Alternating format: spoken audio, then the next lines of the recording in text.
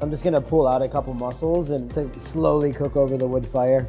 Depending on when you dine, the proteins that are like mature and ready at the time are like what you're gonna end up experiencing.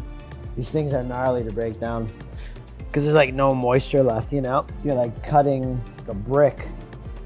We'll split this down and then we'll we'll seam out like this muscle right here. I'll peel the skin.